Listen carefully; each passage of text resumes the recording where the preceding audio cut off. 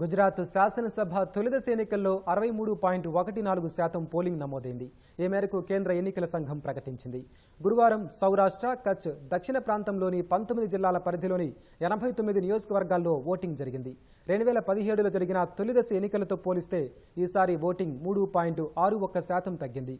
గిరిజన ఓటర్లు అధికంగా ఉండే నర్మదా జిల్లాలో అత్యధికంగా డెబ్బై ఎనిమిది పాయింట్ రెండు నాలుగు శాతం పోలింగ్ నమోదైంది.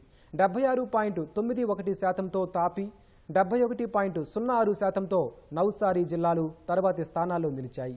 అత్యల్పంగా బొతాడ్లో యాభై ఏడు పాయింట్ ఐదు తొమ్మిది శాతం అమ్రేలీ జిల్లాలో యాభై ఏడు పాయింట్ ఐదు ఎనిమిది శాతం ఓటింగ్ నమోదైనట్లు ఎన్నికల సంఘం ప్రకటించింది. పది జిల్లాల్లో అరవై శాతానికి పైగా ఆరు జిల్లాల్లో అరవై శాతం కంటే తక్కువగా పోలింగ్ జరిగినట్లు పేర్కొంది.